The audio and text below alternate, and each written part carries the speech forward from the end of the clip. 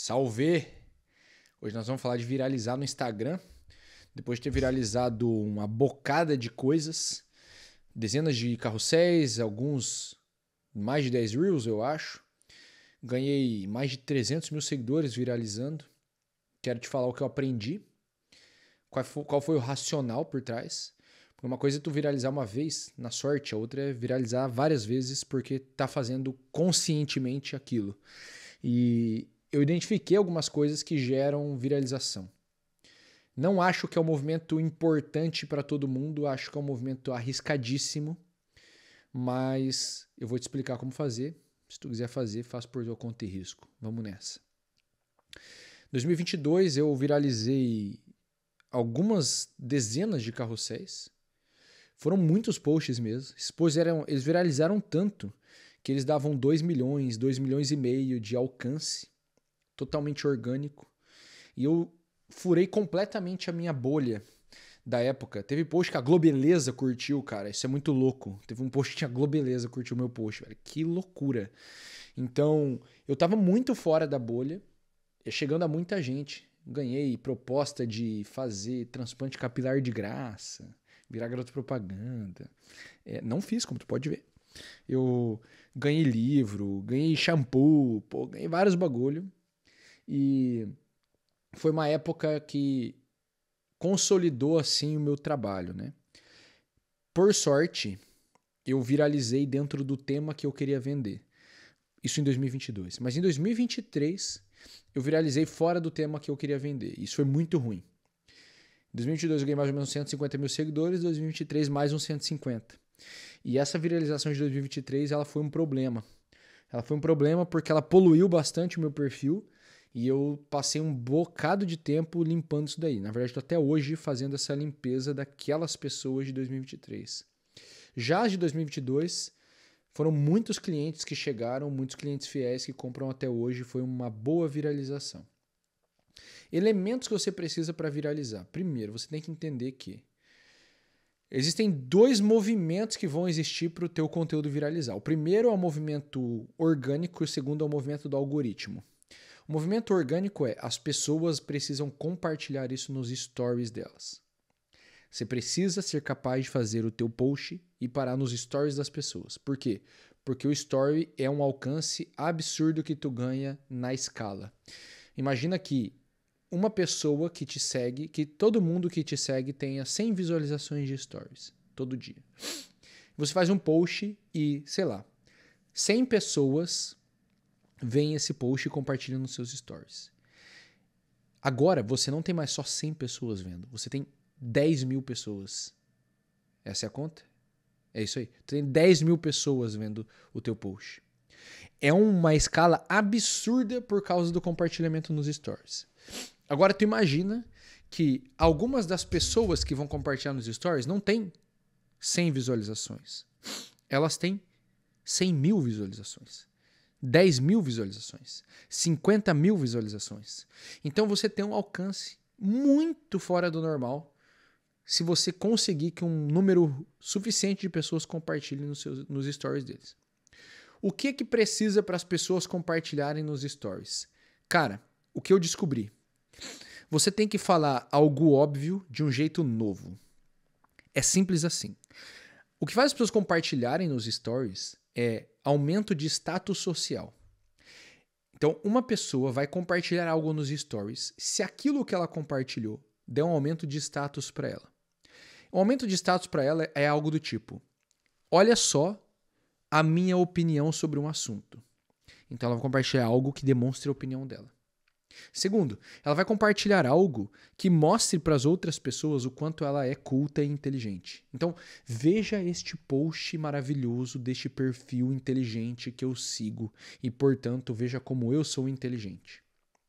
E terceiro que faz as pessoas compartilharem nos stories é indireta. Então ela vai postar para dar uma indireta em alguém que segue ela e ela sabe que vê os stories dela. Então o teu post ele precisa agir dentro de um desses elementos. Eu agia principalmente no elemento de veja como eu, te, eu conheci algo legal e tão legal que mostra que eu sou inteligente. Então, se você entrar no meu curso Carrosséis que Viralizam, lá você vai encontrar vários dos meus posts que viralizaram. O link está na descrição, o curso custa R$ reais. E você vai ver que os meus posts são sempre eu ensinando algo que é relativamente óbvio, mas de um jeito novo. No curso eu explico todos os elementos que fazem o carrossel viralizar. Mas basicamente eu estou ensinando algo óbvio, mas de um jeito novo. Então, quando a pessoa vê esse óbvio de um jeito novo, aquilo acende uma luz assim. Nossa, que legal! E aí é inconsciente. Se eu mostrar para os outros isso, eles vão ver como eu sou inteligente e eu sei um jeito diferente de pensar sobre esse assunto diferente de, do que todos os meus amigos falam na rodinha, diferente do que a gente fala no grupo do Zap. Grupo do Zap é bom, né? Coisa de velho. Então, é, você, ao ensinar um óbvio de um jeito novo, vai ganhar muita capilaridade. Para mim é o melhor jeito. Se você viralizar tentando corroborar opiniões, você provavelmente vai entrar em polêmicas. No geral, vai ser alguma coisa política. E, e, isso vai ser um problemão. Porque tu vai receber um monte de hater e eles vão poluir o teu perfil, eles podem denunciar o teu perfil, encher o teu saco. Então não vale a pena. E se você trabalhar em cima da inveja, provavelmente você vai parar no. Ou da inveja não. Em cima da indireta, você vai parar num perfil de meme. Tu vai virar um cara de meme, um perfil de comédia, um perfil de frases de efeito que tende a não vender muito. Então, na minha opinião, o melhor jeito é viralizar ensinando o óbvio de um jeito novo. Foi isso que eu fiz em 2022. E eu fiz isso com carrosséis. Eu prefiro viralizar com carrosséis um milhão de vezes do que viralizar com Reels. Até hoje, eu não vejo público melhor do que o público leitor. Ah, muito menos gente lê. Sim, mas tem gente pra caramba ainda. Eu tenho lá quase 400 mil seguidores e pode apostar, a grande maioria é de público leitor. Ótimo. Eles compram mais, eles pensam com mais calma, eles são menos ansiosos, então eles olham melhor as ofertas, as ofertas que fazem sentido, eles compram com mais segurança, eles recompram de novo. São pessoas que já estão acostumadas a ler, eles estudam um pouco mais, vão consumir mais o teu curso, dos teus produtos. É um público que eu gosto mais. Então eu sou muito mais fã de viralizar carrossel do que de viralizar reels. Agora, existe um elemento comum ao carrossel e ao reels a primeira parte do teu conteúdo, a primeira frase, os primeiros segundos, o primeiro card do teu carrossel, precisa falar com um problema real da vida da pessoa. Então, você precisa descobrir o que realmente incomoda as pessoas para que o teu gancho inicial puxe elas para ficar no teu conteúdo. E esse gancho inicial geralmente vai ser tu apertar a ferida. Então, um dos meus posts que mais viralizou é o post do Ikigai. Como descobrir o sentido da vida? Porque o sentido da vida é uma ferida bem dolorida para as pessoas. Um outro post meu que viralizou bastante é o post sobre não reclamar. Ah, eu, não, eu queria não reclamar, mas eu reclamo muito, vou te ensinar o que fazer para parar de reclamar. Porque reclamar é uma coisa que incomoda muita gente. Tô te falando, são coisas óbvias, sentido da vida, reclamar não é nada muito absurdo. Mas é algo que mexe rápido com as pessoas. É o óbvio que incomoda elas todos os dias e é aquele incômodo silencioso tá ali, ela já não fala mais para ninguém, ela não debate com ninguém, ela não conversa com ninguém, porque também é tão óbvio aquele problema tá tão latente que ela meio que esquece e vira um problema inconsciente. Só que quando aparece o post, ela fala: "Caramba, é verdade, isso aqui existe, eu preciso ler mais". E daí ela se engaja com o teu conteúdo. E daí ela lê, aquilo gera uma emoção, porque tu tá falando diretamente com o problema real dela. E essa emoção faz com que ela compartilhe. É assim, ó, o compartilhar, ele é um efeito de uma emoção gerada que ela quase que inconscientemente, nem é consciente muitas vezes, já gera na cabeça da pessoa o seguinte, a seguinte ideia. Ao compartilhar isso, o meu status social aumenta. Então tem que lembrar que a rede é social. O Instagram é uma rede social. Então, a pessoa ela tá querendo aumento de status social. O cara solteirão de 18 anos, ele quer que as menininhas achem legal. A, a mulher casada, ela quer que as amigas vejam como ela é uma boa mãe e, uma, e a casa dela é perfeita.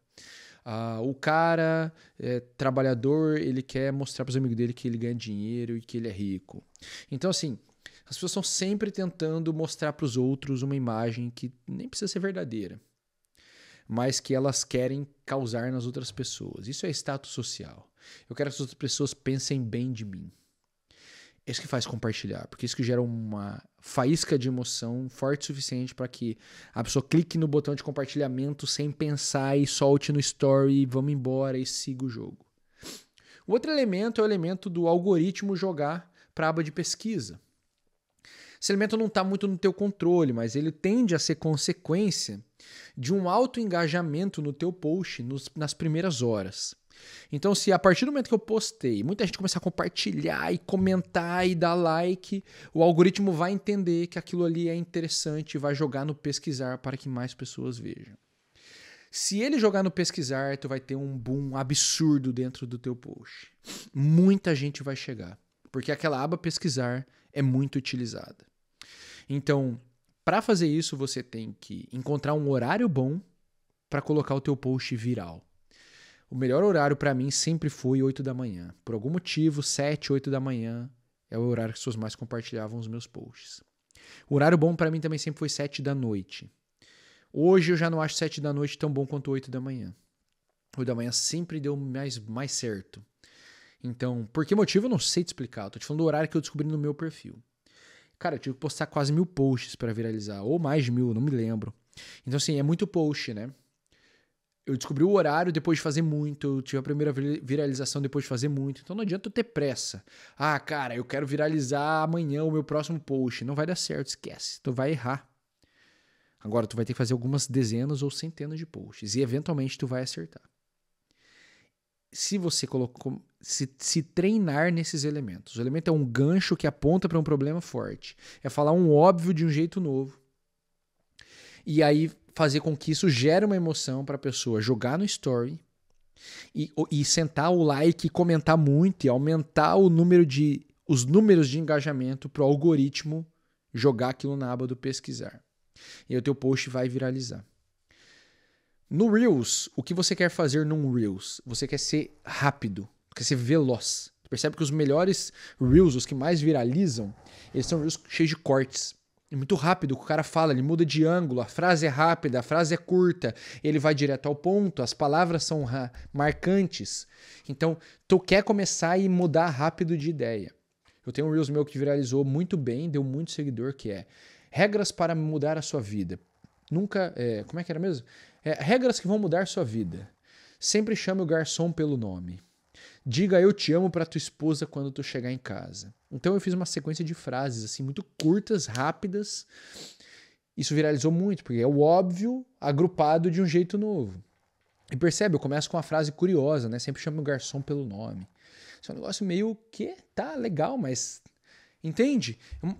Às vezes o gancho ele não vai ser uma dor muito grande, mas uma coisa absurdamente curiosa e fora da, do padrão assim. Do nada o cara Tá falando que uma regra para mudar de vida é chamar o garçom pelo nome. Deixa eu ver o que mais que tem nesse negócio aqui. O cara vai ficar e vai ouvir até o final. No Reels, você quer tempo de visualização. Então você quer que as pessoas assistam, assistam, assistam, assistam, reassistam, vejam do começo ao fim, revejam, revejam, revejam e aí compartilhem. Então, quanto mais ela revê, mais o algoritmo entende que aquilo é bom, porque está segurando o cara no teu perfil, portanto, segurando o cara no Instagram, mais chance de jogar para a aba de pesquisar. Basicamente é isso. Eu espero que esse vídeo rápido, objetivo aqui te ajude a viralizar. Se você quer aprender a viralizar carrossel, que é o melhor tipo de conteúdo para trazer o melhor tipo de seguidor, na minha opinião, o link está na descrição desse vídeo, carrosséis que viralizam. Sete aulas em sete dias, tu vai matar esse curso, tu vai começar a fazer carrossel, carrossel, carrossel. Eventualmente tu vai viralizar. E esses carrosséis não só viralizam, eles dão clientes. Espero ter te ajudado. Se inscreve no canal. Deixa o like, comenta aqui nesse vídeo. A gente se vê no próximo. Um grande abraço, até mais.